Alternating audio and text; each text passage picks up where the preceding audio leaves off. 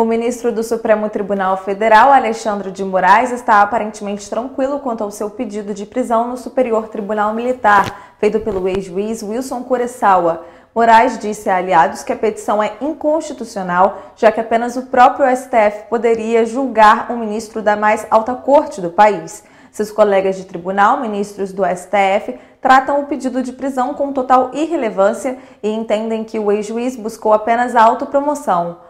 Polêmico, Kurosawa coleciona alguns episódios inusitados, dentre eles a ação movida contra o apresentador do Jornal Nacional, William Bonner, porque o jornalista estaria incentivando o suicídio ao divulgar a vacinação infantil contra a Covid-19.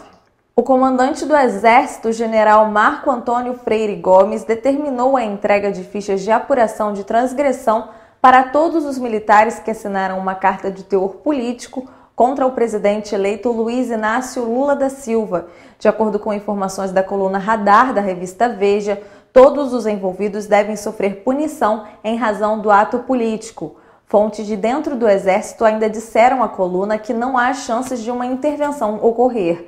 A carta trazia críticas ao Poder Judiciário e endosso aos atos de apoiadores do presidente Jair Bolsonaro diante de quartéis espalhados pelo Brasil, segundo a Folha de São Paulo. O tema e possíveis punições foram debatidos em reunião do Alto Comando do Exército no último dia 29.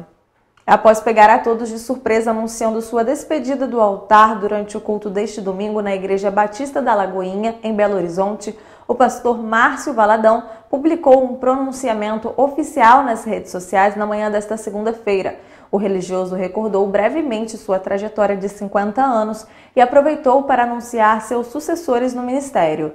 De acordo com o patriarca dos Valadão, o comando da Lagoinha Global, que conta com mais de 700 igrejas em todo o mundo, passará para seu filho, o pastor André Valadão, que até então ocupava o posto de vice-presidente. Pastor Márcio frisou que sua aposentadoria não é com relação à sua missão, que, segundo ele, é até o último fôlego de vida. O Hospital Albert Einstein emitiu um novo boletim médico atualizando o estado de saúde de Pelé o ex-jogador, de 82 anos, está internado em São Paulo desde o último dia 29 de novembro, quando deu entrada na unidade de saúde para reavaliar a quimioterapia contra o tumor de cólon metastático contra o qual vem lutando. De acordo com a equipe médica, Pelé segue apresentando melhora do estado clínico, em especial da infecção respiratória. Ele está sendo tratado com antibióticos. O rei do futebol também continua em quarto comum, consciente e com sinais vitais estáveis. Não há previsão de alta para o paciente. O camisa 10 da seleção brasileira, Neymar Júnior, publicou neste domingo uma carta aberta ao treinador Tite após a derrota no Catar.